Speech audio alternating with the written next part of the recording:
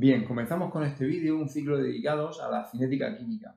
En este primero vamos a aprender a dibujar diagramas entálpicos y hacer pequeños cálculos de, de algunas magnitudes importantes relacionadas con ellos, como son la energía de activación y la variación de entalpía.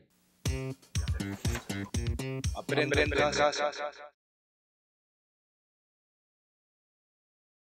Bien, en este primer problema de cinética química se nos da la reacción A más B para dar C más D y se nos dice que la energía de activación correspondiente a esta reacción es 44,2 kJ por mol. Mientras que para la reacción inversa, es decir, C más D para dar A más B, es de 30,5 kJ por mol. Y nos piden que dibujemos un diagrama entálpico. Un diagrama entálpico no es ni más ni menos que una representación de la energía tanto de reactivos como productos con el transcurso de la reacción. Como sabes, para que tenga lugar una reacción química, los reactivos, las moléculas de reactivo tienen que chocar entre sí y estos choques han de ser suficientemente intensos para que sus enlaces se rompan y se formen enlaces nuevos. Por tanto, se habla de una energía de activación, se, habla de una energía mínima que deben de adquirir estas moléculas por medio del choque para conseguir romper esos enlaces pasar a productos. Bien, vamos a dibujar el diagrama entálpico en este caso. Vamos a comenzar dibujando los reactivos, el nivel energético de los reactivos en un punto donde nosotros queramos, pues no sabemos dónde, lo dibujamos en un sitio cualquiera. Vamos asimismo a dibujar a una montañita, el pico de una montañita, que es lo que se llama la energía de activación, el estado de transición, el complejo activado. Es un estado en el que los enlaces de los reactivos están a medio romperse y los enlaces de los productos están a medio formarse. Están ahí que no son ni una cosa ni otra. En cualquier caso, esta es la barrera que han de, superar los reactivos por medio del choque para pasar a productos. Bien, a continuación dibujamos el nivel energético de los productos. Pero no sabemos si los productos tienen más o menos energía que los reactivos. Si tuviesen menos energía, habría que dibujarlos aquí. Y si tienen más energía, habría que dibujarlos aquí.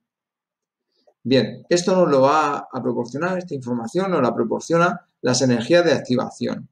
La energía de activación de la reacción directa es 44 kJ por mol. Esa energía de activación es esta. Es la energía que debe adquirir los reactivos por medio del choque para conseguir saltar esa barrera. Sin embargo, la energía de activación de la reacción inversa es menor. Por tanto, los, los productos van a estar aquí arriba. La energía de los productos es mayor que la de los reactivos. Ahora simplemente hemos de unir estos estados de energía por medio de una curva y ya tenemos dibujado el perfil entálpico de esta reacción.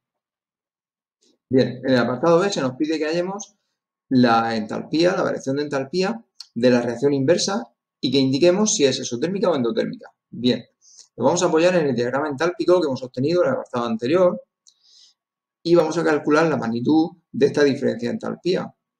No es ni más ni menos que la diferencia de energías entre productos y reactivos. Gráficamente se observa que el cálculo de esta diferencia es muy sencillo, ya que esta magnitud va a ser igual a 44,2 menos 30,5. Esto nos da 13,7 kilojulios por mol. Pero mucho cuidado, porque nos lo piden para la reacción inversa.